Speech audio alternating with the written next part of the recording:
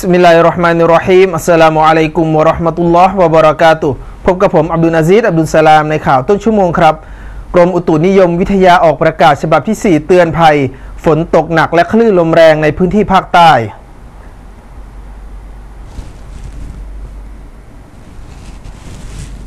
เมื่อเวลา 4 นาฬิกาวันนี้หย่อมความกดอากาศต่ำกำลังแรงปกคลุมบริเวณชายฝั่งด้านตะวันออกของประเทศมาเลเซีย อยู่ห่างประมาณ 200 กิโลเมตร ทางตะวันออกเฉียงใต้ของจังหวัดนราธิวาสกำลังเคลื่อนตัวทางตะวันตก คาดว่าจะเคลื่อนตัวผ่านประเทศมาเลเซียลงถูลงสู่ทะเลอันดามัน ลักษณะเช่นนี้จะทำให้ภาคใต้ฝั่งตะวันออกและตอนล่าง มีฝนเพิ่มมากขึ้น และมีฝนตกหนักถึงหนักมากในหลายพื้นที่ โดยเฉพาะในช่วงวันที่ 19 ถึง 22 พฤศจิกายน 2556 ที่จังหวัดนาราธิวาสฝนได้ตกลงมาอย่างหนักเป็นเวลา 2 วันติดต่อกัน ปกคลุมพื้นที่ทั้ง 13 อำเภอ โดยพื้นที่อำเภอเมืองนาราธิวาสมีปริมาณฝนตกหนักสุด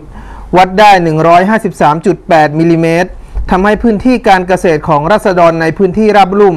เริ่มมีปริมาณน้ำขังแล้ว จากความชื้นของปริมาณน้ำที่เริ่มอิ่มตัว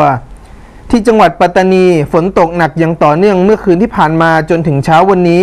ทำให้การสัญจรไปมาไม่สะดวก เทศบาลเมืองปัตตานีได้แจ้งเตือน ประชาชนให้ติดตามรับฟังประกาศจากกรมอุตุนิยมวิทยาอย่างใกล้ชิด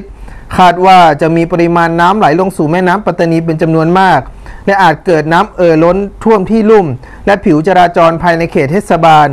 ทั้งนี้อาจเกิดน้ำท่วมฉับพลันและน้ำป่าไหลหลากและดินโคลนถล่มในพื้นที่จังหวัดสุราษฎร์ธานี จังหวัดนครศรีธรรมราช จังหวัดพัทลุง จังหวัดสงขลา จังหวัดปัตตานี จังหวัดยะลา และจังหวัดนาราธิวาสอันหนึ่งบริเวณอ่าวไทยตอนล่างคลื่นลมจะมีกำลังแรง เรือเล็กไม่ควรออกจากฝั่ง ขอให้ประชาชนระมัดระวัง หากมีข้อมูลเพิ่มเติม ศูนย์เตือนภัยพิบัติแห่งชาติ จะแจ้งให้ทราบเป็นระยะเป็นระยะต่อไป พบกับข่าวไว้ข่าวไว้ได้ใหม่ในเวลา 14 นาฬิกาอินชาอัลลอฮ์อัสสลามุอะลัยกุมวะราะห์มะตุลลอฮ์วะบะเราะกาตุฮ์ เหตุการณ์ในใจ